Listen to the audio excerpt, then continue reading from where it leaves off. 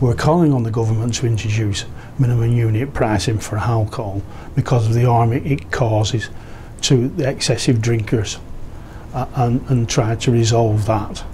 It would create a more level playing field where the really cheap alcohol retailers they would have to in uh, increase their prices but the general pub will not have to increase its prices.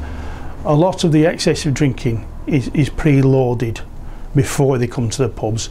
There's no controls. The landlords, if, if someone's getting inebriated, they will stop serving them, so there's some control there. And it costs this borough £68 million per year in hospital admissions, antisocial behaviour, and lost work. Uh, well, yeah, it has affected us uh, in a lot of ways because, especially the younger end, the younger end don't use the pubs like you know their their fathers used to or their granddads used to. Uh, they prefer to drink at home and and then they go out later at night when they've uh, drunk a few bottles of cheap beer from the supermarkets. So yeah, it's definitely affected trade.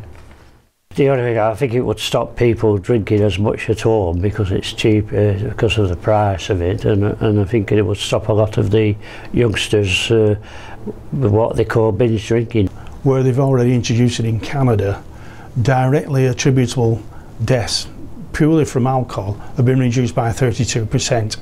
And if we can reduce anywhere near that figure in Blackburn with Darwen, it will be more than welcome.